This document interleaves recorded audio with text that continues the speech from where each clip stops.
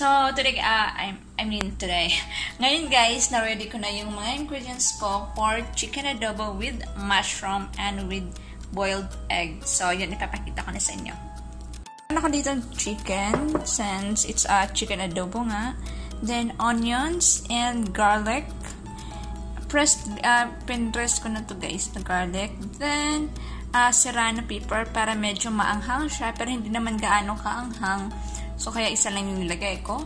And then, meron ako dito string beans. And boiled eggs. Uh, pinalatan na siya, guys. Then, mushrooms.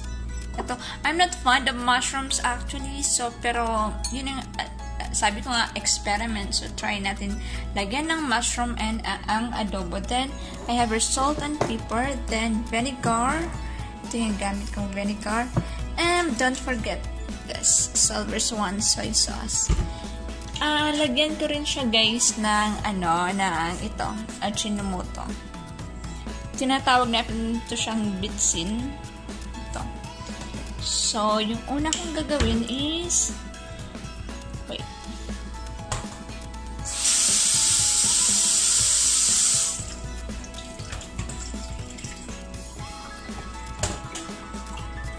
May kulang siya guys, walang bay leaves. So, sige lang. And, ito, ilagay lang yung chicken. That's it. Chicken, chicken. Yan. Tapos, yung bawang. Sili. Mas gusto ko yung maraming ano guys, maraming bawang, maraming yung ano, yung maraming ganito ba? Sahog. Hindi ko ano kung ano yun sa Tagalog. Sorry. And lagyan ng suka. Wait lang. Yung paglagay ng suka, ng suka guys is kumbaga hindi siya measure talaga. Parang ano-ano lang. Tanchar-tanchar. Alam ko ano rin yan sa Tagalog ano yun, chamba-chamba, ganon. Next is soy sauce. Ganon pa rin guys. Chamba-chamba lang. Pag masyadong marami para hindi maging maalat. So, mga 2 tablespoon guys. Yun. Or 3. Yan. Or, yan. Ganyan siya. And then, i-mix lang yan. Then, lagyan ng pepper. Yung bitsin, haluin.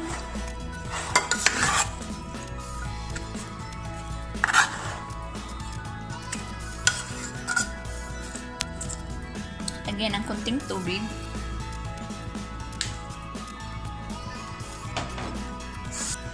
Lagyan ng kunting tubig guys. Yan. Huwag masyadong madami. And,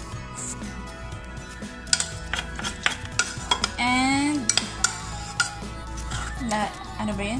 Chuchuk ko lang siya ng soy sauce. Kunti lang.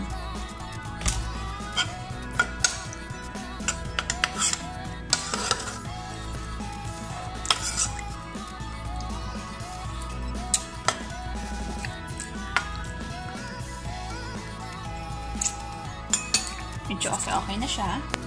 At, isa lang. So, yung gagawin ko guys is, ano lang siya, um, hindi masyadong malakas. Parang ganyan lang. Yan. Uh, saka na natin to guys, ilalagay yung sitaw. At saka ito, pag medyo, I mean, yung unang kulo. Ganito naman, pag medyo patapos na siya, And, it, tsaka ito. So, see you later! Guys, ayan, kumukulo na siya ang bango.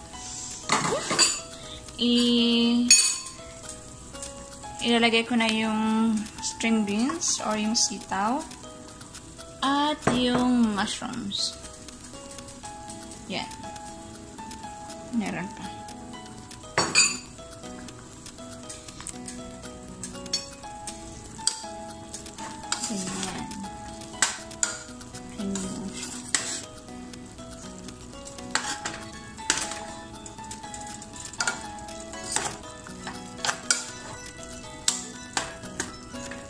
Pag medyo luto na siya, saka na natin or after ilang minutes, saka na natin ilagay yung um, yung eggs.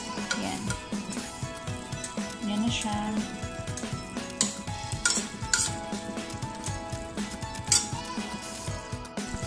Ayun guys, yung steam beans is malambot na siya. And medyo manghang. So, ilalagay ko na yung 3 boiled eggs. Yan. Then, paliguan natin ng sabaw para naman may taste. Paliguan talaga. Yan. Ilagay natin sa ilalim. I don't know guys why I love boiled eggs. I don't know pag yun sa humba. I don't know kung ano yun sa, ano yun sa, ano, sa Tagalog. Yan. And, yan guys. Finish na yung chicken adobo with mushroom and boiled eggs. So, lagay natin sa off. Diyan lang muna siya guys para mag-penetrate mag pa rin yung sabaw. So, that's all guys. So, ito na guys ang finished product. Medyo konti lang yung sabaw guys para mas masarap. Yan. O, diba? Yummy. That's all for today guys. Andito na. Nakaluto na ako. So, yun. Um, thank you so much guys for watching. See you in the next video. Bye!